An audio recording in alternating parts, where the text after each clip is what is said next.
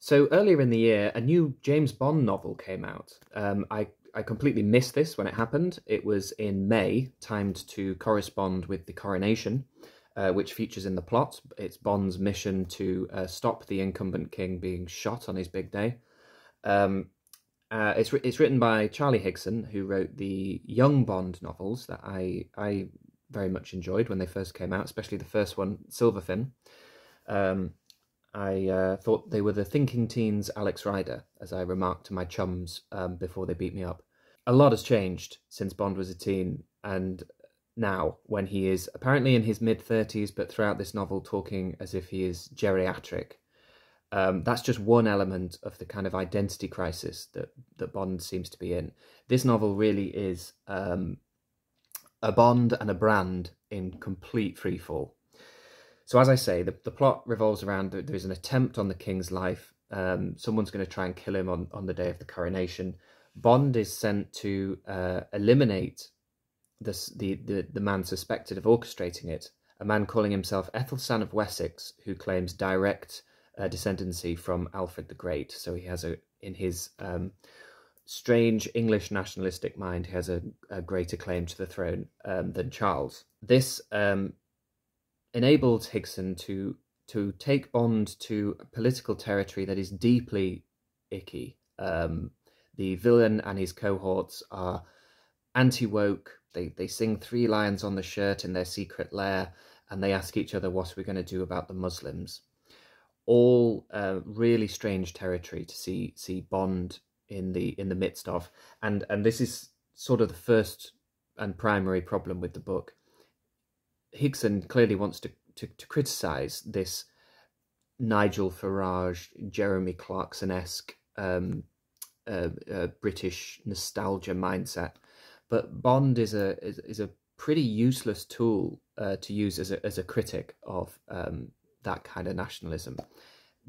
Men like Nigel Farage, Ethelstan of Wessex, dream of being James Bond. He is the hero of uh, misty-eyed British triumphalists so the novel's plot immediately throws um, Bond's whole identity and brand kind of into crisis. Higson use, seems to use sort of half of the current era um, film Bond, the slightly keep calm and carry on tinged older Bond, the Bond who, who you know jumps out of a plane with the Queen, um, and then fuses it with a younger Bond. So his his Bond in the book is in his sort of mid thirties, um, which allows him to be slightly more critical of the world and and and um, you know he Bond does a little bit of self analysis and calls himself dull and mainstream, or or at least wonders if he is.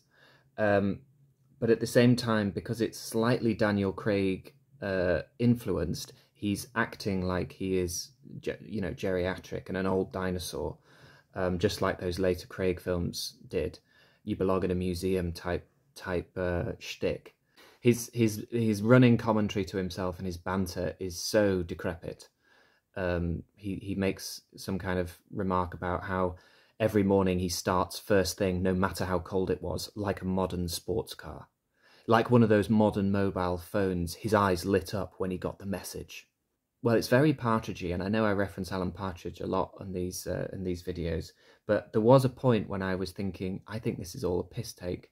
I think there were, there were two um, very particular Partridge references to Toblerone and getting a second series where I thought, no, that's one Partridge reference too many. Charlie Higson is sending this whole thing up as a joke. Um, and pastiching Bond, and I'll come back to the idea of pastiching Bond because I, I think um, it reminds me of, of something else I've spoken about recently.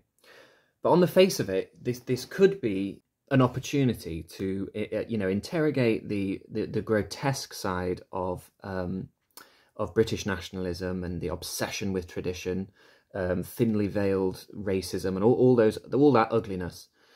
That could have been put into conflict with whatever the author decides. No, this is this is um, you know something about British tradition that's valuable. This encapsulated in James Bond. What does he do? But instead, he just ends up sort of reflecting that he's just a clenched fist, he's just a tool, um, and he sort of mildly disapproves of uh, of of what he sees when he goes undercover and he meets all of these Faragi Clarksony types.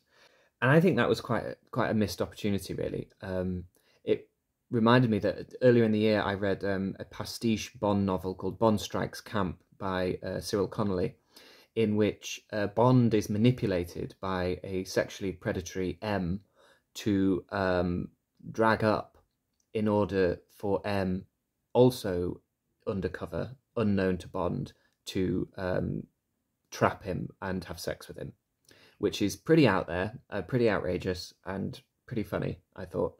And I was thinking, in a way, it is a shame that Bond has become dull and mainstream, because if he was less mainstream, there would be more um, more opportunity to to kind of play with his legend a little bit more. How funny would it have been if in this novel the premise is exactly the same. King Charles is, uh, you know, there's a, there's a plot to kill King Charles on his big coronation day. There's a there's a nutter claiming to be direct uh, descended from Alfred the Great, called calling himself Ethelstan of Wessex. Um, he's hosting secret parties full of uh, right wing agitators and shock jocks and stuff. And Bond goes undercover, and the more he hears, the more he thinks, you know what, these guys have kind of got the right idea.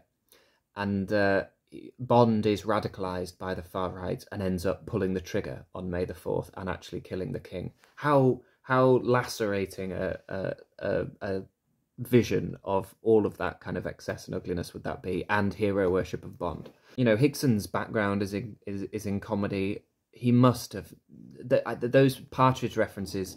If you're not familiar with Partridge, anyone who is knows how specific Toblerone and Second Series are. I find it very difficult to imagine uh, Higson would have slipped them in and not uh, done it by accident. And if he didn't write it as a send up, then um, kind of what's the point? What what is the point of Bond in the future? It's it's interesting to speculate in terms of the films, what they're going to do next. The book seems to subvert almost everything traditional about Bond. Um, the two big ones for the books, um, horrific sex scenes and massive breakfasts, both feature but in diminished form. The the sex scene is a pseudo sex scene. It's sort of like a a pretend one to to throw the enemy off the scent. And Bond Bond's massive breakfast is very berry dominated and and granola heavy. It's it's not the absolute orgy of uh, toast and eggs that he routinely demolishes in novels like Casino Royale. Um, a baffling book, um, a really terrible book. Uh, for the first half, a pretty funny book, um, but sort of one that you you laugh at rather than with. I'm afraid.